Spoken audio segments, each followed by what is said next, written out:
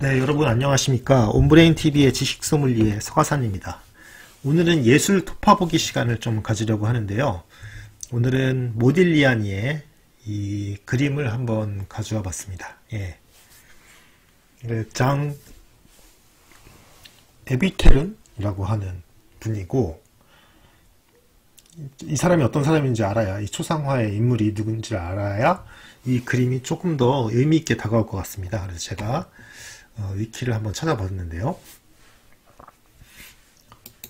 일단 모딜리안이라고 하는 분이 어떤 분이냐 음, 여러분 이분이 모딜리안인데 어, 그 이분이 그, 두 번째 연인이자 부인이었던 장 에비텐텐라고 하는 분이고 어, 지금 이 그림의 주인공이죠. 어, 여기 길쭉하게 표현되어 있어서 비슷하지 않은 것 같은데 근데 여러분 보면 어, 그러니까 지금 34살에 돌아가셨으니까 굉장히 일찍 돌아가시죠. 그렇죠. 어, 슈베르트가 35세 돌아가셨는데 35인가? 아니구나. 35은 모차르트가 35.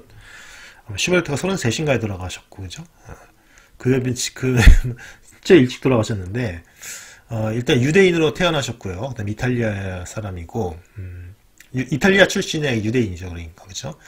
여기 보시면 이제 예, 뭐 그래서 몸이 계속 허약했다고 해요. 그래서 아버지가 돈이 많은 유대인이라서 그 어렸을 때까지는 잘 돌봐줬는데 10살에 아버지가 돌아가시면서 이제 온갖 질병에 시달렸다고 합니다. 네. 그래서 여기 한번 볼까요? 여기서부터 볼게요. 네.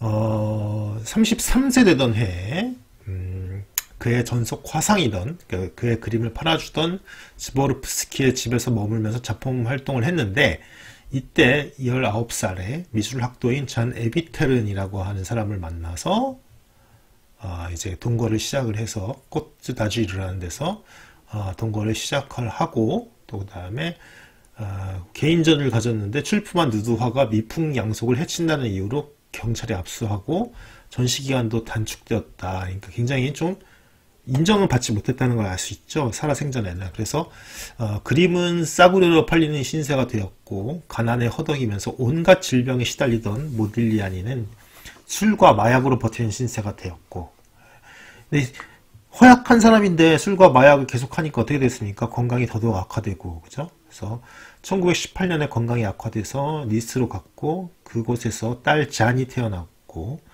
폴 기염이 주최한 젊은 작가전이라고 하는 곳에 당대의 어, 길이나였던 피카소, 마티스와 함께 작품 전시했다. 1919년에 파리로 돌아왔고 잔이 두 번째 아이를 임신을 하는데 그래서 이제 1919년에 잔과 공식적으로 결혼을 했지만 생활고로 인해서 잔은 친정으로 가게 되었다. 그, 그 작품이 안 팔리니까 찢어지 가난하게 살았나 봅니다. 예. 잔의 부모는 또 두 사람이 만나지 못하도록 단단히 통제했다. 그렇겠죠. 자기 딸이 마약 중독자 가난한 화가랑 같이 사는 것을 못 견뎌했겠죠. 예. 그래서 1월 22일 결핵성 수막염 및 알코올 마약 및 마약 중독으로 인해서 파리 자선병원에 입원했고 34세의 나이로 사망을 해서 베르라세지 묘지, 묘지 안장이 되었다고 하네요. 예. 그런데 어, 자는 장례식에서 그야말로 울다 미칠 정도로 슬퍼했다고 합니다. 예. 아, 진짜 마음이 아프네요. 잔이 죽기 얼마 전에 딱 그린 유작인 그림 자살이라는 걸 봐도 그림 속 칼로 자살한 여인이 잔 에비텔은 그녀임을 알 수 있다. 아 여기 보면 어 이게 지금 그거네요. 잔이 그린 그림인데 어 너무 가슴 아프다 그죠? 예. 자기가 그린 그림인데 자살하는 게 그죠? 아 근데 여기 그 그림이 지금 이 모딜리아니가 그린 그쵸 이런 길쭉한 모습과 닮아 있습니다. 그렇죠. 우연이 아닌 것 같아요. 네. 아이고 그런데 또 근데 어쨌든 그녀가 자살할까봐 친구들은 밤새 곁을 지켰지만 끝내 이제 극단적 선택을 하고 마신 마는 거죠. 아 오빠인 앙드레가 곁에서 지켜봤지만 앙드레가 잠을 자던 1월 26일 새벽 잠을 깬 자는 남편을 따라 4층 창문에서 뛰어내려서 어, 만 21세의 나이로 자살했다. 그래서 그때 임신하고 있었기 때문에 둘째 아이도 덩달아 죽고 말았다고 하네요. 아이고.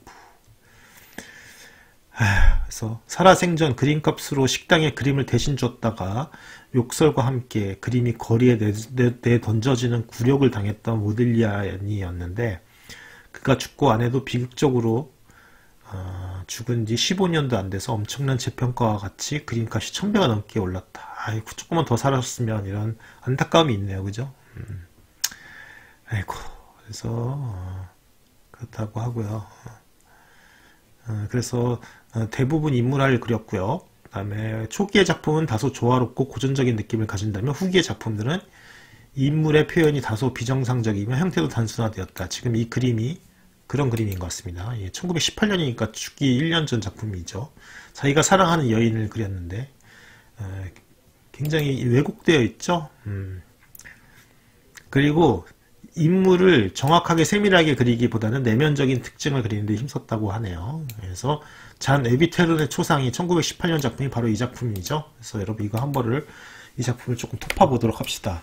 일단 역시 얼굴에 눈이 가는 거는 어쩔 수 없는데 한번 얼굴을 잘 자기가 사랑하는 여인을 어떻게 그렸나 한번 볼까요? 굉장히 음, 일단 길쭉길쭉하게 그렸는데 이 인물의 외양이 당연히 이렇게 생기진 않았을 테고 굉장히 고전적인 그런 아름다움을 표현하고 있으면서 그런데 보면 선 같은 것들이 이렇게 굵거나 막 그렇진 않고 그죠? 이렇게 보면 어, 이런 검은 선 같은 게 이렇게 지금 햇빛이 받는 쪽에 반대쪽에 이렇게 그냥 듬성듬성 이렇게 이렇게 그려져 있고 여기도 이렇게 추상화에 가까워지는 느낌이 있습니다. 그렇죠? 어, 그리고 여러분 보시면 지금 이 짠, 짠의 이거 지금 그런 거를 지금 그 성스러움을 표현하기 위한 약간의 어떤 후광 같은 느낌이 죠. 따뜻한 기운이 이렇게 뒤에 표현이 되어 있고, 그죠. 위쪽에 이거는 벽, 벽을 가르는 그런 거, 그죠. 그죠. 여기, 어, 어둠을 해서 명암을 표현한 것 같습니다. 근데 보면, 붓질이 보면, 이렇게 보면, 붓질이 좀 상이하네요. 이런 데 같은 경우에는 이렇게, 붓을 둥글둥글게 이렇게 그죠? 이렇게 칠했던 느낌도 좀 나고요.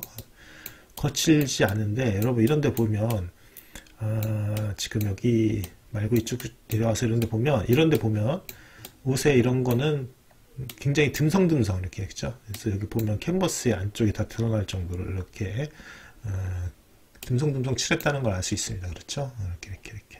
그러니까 중심은 늘 그 인물에 있고 옷은 부차적인 거지만 어떤 어, 색채 같은 것들의 어떤 그런 조화라든가 이런 건 충분히 잘 표현되어 있네요. 그렇죠? 예. 여기도 이런 거 보시면 검은색 같은 거는 이렇게 다 메꿔서 칠하진 않았습니다. 그렇죠? 이렇게 이렇게 돼 있고 음. 이렇게 듬성듬성 칠한 것을 볼 수 있고요. 어. 근데 얼굴은 역시 여러분 인간한테 가장 그 역시 제일 먼저 보는 게 얼굴이잖아요. 그렇죠? 얼굴은 굉장히 촘촘하고 음, 명암 같은 것도 되게 잘 표현되어 있고요. 턱 같은 것도 이렇게 그죠? 이렇게 뭐 마치 파우더 바르듯이 이런 식으로 그림자를 처리를 했네요. 그렇죠? 어, 입술도 이렇게 그렇죠? 그래서 굉장히 그리고 눈에는 눈동자 같은 걸 그리진 않았습니다. 그렇죠? 어, 어, 인간한테서 가장 먼저 보는 거는 눈동자인데 그렇죠? 어. 그래서 어, 일견 영혼 없는 것처럼 보이기도 하고 아니면은 그 눈동자 너머에 무엇인가가 보이는 듯한 그죠? 그런 느낌이 드는데 어, 잡느는 푸른 눈을 가졌을까요? 어, 그래서 이렇게 저기 표현이 되어 있는데 동공이 그려져 있지 않은 이유는 뭘까요? 그렇죠? 어, 제가 봤을 때 파란 눈은 아닌 것 같은데요, 그렇죠? 예, 실제 얼굴은 이렇게 굉장히 굉장히 탐스러운 긴 그 와 긴 머리카락을 가지신 분이고 그 코도 조금 두툼한데 여기서는 되게 얇게 표현되어 있고 그죠?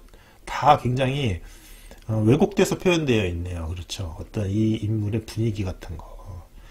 어떻게 생각하면 모딜리안이 자신의 모습이 자신이 바라는 모습이 투영되어 있는 걸 수도 있겠죠. 그렇죠? 음. 아니면 그런 본질이라든지 우리가 이 여자에 대해서 보지 못하는 본질 이런 게 표현되어 있을 수도 있죠. 그죠? 네, 코가 굉장히 길쭉하게 표현되어 있습니다. 그렇죠? 와, 다음에 이렇게 있고 여기 정수리 이쪽에는 어, 여기 이쪽에는 또 이렇게 어, 지금 머리카락이 갈색과 다른 톤으로 이렇게 그죠? 마감이 되어 있네요. 네. 여기 보면 침대 같은 것도 이런 건 좀 대충 이렇게 그죠? 그 뉘앙스만 표현되어 있는 것 같고 이거는 무슨 새 장식 같은 게 보이긴 하는데 그죠? 네. 그다음에 여기에 그런 베개나 시트 같은 것도 표현이 되어 있고 근데 역시 말기의 그림인데 그 죽기 1년 전 그림인데 힘이 없어 보이고 고통스러워하는 그런 흔적도 좀 보이는 것 같긴 합니다. 여기 지금 보면 이 그녀 이 여자의 근처에 여기는 아, 이런 톤으로 조금 회색에 가까운 톤으로 좀 칠해져 있고요. 그렇죠? 여기는 좀 촘촘히 상대적으로 촘촘히 되어 있는데 저 이쪽으로 갈수록 조금 이렇게 이렇게 붓질이 성그러지는 느낌이 나오고 있습니다. 솔직히 말씀드리면 고통스러운 면모도 좀 보이는 것 같아요. 그죠? 어, 아, 여기는 진짜 마치 무슨 해초처럼, 그죠? 해초를 그린 것처럼 이렇게 쫙 치마가 표현되어 있습니다. 예. 손 같은 것도 이렇게 보면 몇 개의 손으로 이렇게 그 윤곽만 제시하고요. 그렇죠? 그 다음에 여기는 이렇게 빠른 속도로 이렇게 칠을 해서 촘촘히 칠하진 않고, 그렇죠? 이렇게 거의 뭐 인상주의 화가들이 그리는 것처럼 그런 기법으로 그렸네요. 그렇죠? 음. 근데 이 여자의 표정을 보면 그렇죠? 웃고 있는 것 같기도 하고 깊은 생각에 빠져 있는 것 같기도 하고 그렇죠? 어, 어떤 옛날에 그 진짜 무슨 고대 무슨 뭐, 뭐 조각들 보는 느낌도 좀 들고 그죠? 어, 그다음에 이런 후광 같은 것을 표현 하는 데서 따뜻한 느낌도 들면서 묘묘하게 차갑기도 하고 굉장히 어, 그냥 시시각각 다르게 보이는 미, 묘한 그림이네요. 어, 여기 보면 쇄골 같은 것도 굉장히 미묘하게 표현돼 있어요. 여기는 그렇죠. 여러분 보십시오. 이런 거. 조금 더 상대적으로 하얀색과 이런 식으로 해서 쇄골 같은 것도 표현되어 있어서 어, 진짜 이 얼굴 부위는 뭐 거의 뭐 진짜 그 어, 막 이런 데는 제가 봤을 때 뭐 몇 번이나 이렇게 덧칠을 하고 미묘한 색조를 번갈아서 쓴 게 느껴지고요. 근데 여기 보시면 이쪽 이런 것들은 여기에 이런 것도 단색으로 이렇게 그죠? 이렇게 처리한 부분도 있고 이러한 부분 치마 같은 경우에는 뭐 초록색 계통과 좀 이렇게 짙 짙푸른 색들 이런 걸 섞어서 이렇게 하는 걸 볼 수 있어서 보면 음, 굉장히 분열적 징조도 징조도 있는 것 같아요. 이 다 달라요, 그죠? 그 한 그림에 터치가 다른 부분이 굉장히 많네요. 그렇죠? 신기합니다. 음, 굉장히 제가 봤을 때는 정상인의 그림처럼 안 보이고 역시 굉장히 큰 고통에 지금 사로잡힌 사람이 본 것처럼 보여서 가슴이 굉장히 아픕니다. 이 여성에 대한 어, 동경과 그다음에 뭐 이런 고통과 그다음에 사랑, 연민 이런 것들이 막 다 같이 어,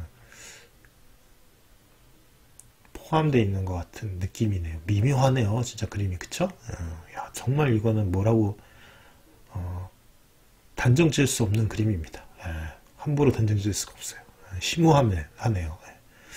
영적으로도 보이고요. 저의 그냥 개인적인 감상입니다. 예. 자, 그래서 여기까지 모딜리아니의 그림을 한번 토파봤고요. 다음에 또 더 좋은 작품, 더또 신기한 작품들 뭐 이런 거 좀 소개 안 된 것들 이런 것들 들고 여러분들 찾아뵙겠습니다. 감사합니다.